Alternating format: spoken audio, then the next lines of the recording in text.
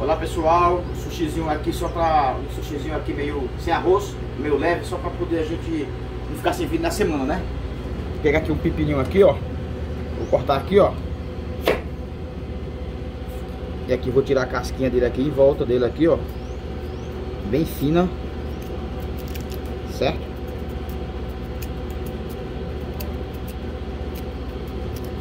Vamos aí, tirar aquela casquinha dura, agora eu vou cortar bem fino agora, ó para fazer isso aqui vai ser uma a parte de volta do sushi, beleza?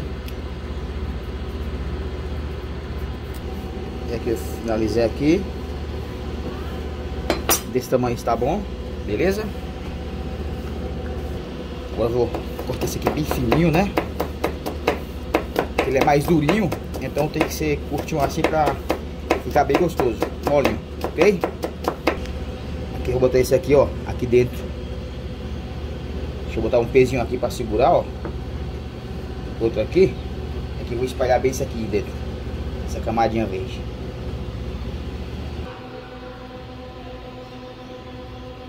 Uma manguinha, né? Manga é muito gostoso, super combina com, com sushi assim de, de frutas. Beleza?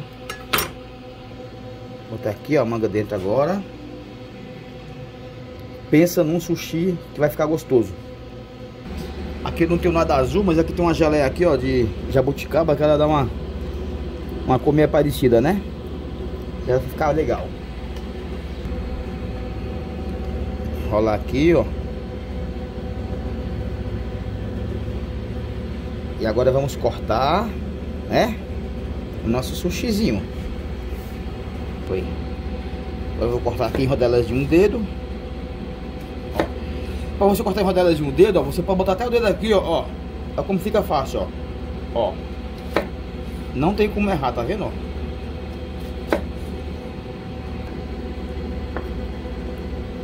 Tá bonitinho. Olha, que coisa linda. Agora aqui vamos finalizar, né?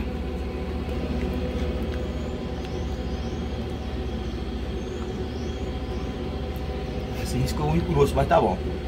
Bandeira do Brasil. Gosto. Agora bota aqui, ó.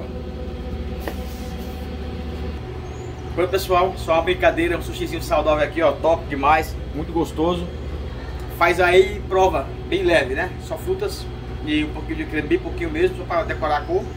A geleia também não é tão pesada, que é a geleia de frutas exóticas, certo? Arigatou, até o próximo vídeo, fico com Deus.